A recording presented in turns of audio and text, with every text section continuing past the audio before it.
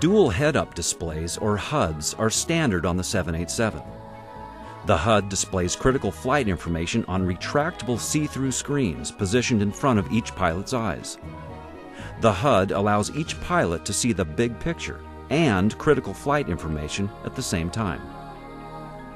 By allowing lower takeoff minimums, the head-up display helps minimize costly ground delays during periods of low visibility.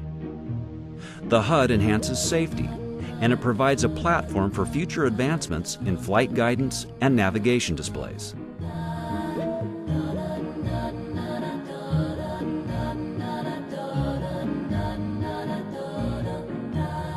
November 787 Bravo Alpha cleared for the ILS runway 34 right, maintain 2000 till established. Roger, 7 Bravo Alpha cleared for the approach, 2000 till established.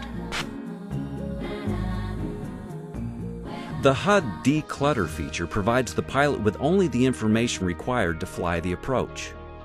By removing non-relevant data, visual distractions are minimized.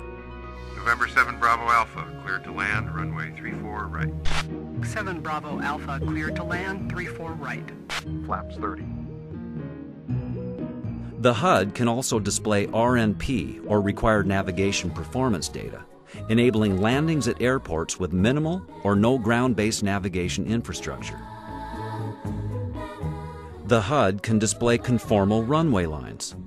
By highlighting the edges of the active runway, the pilots are kept aware of its exact position in low visibility or darkness.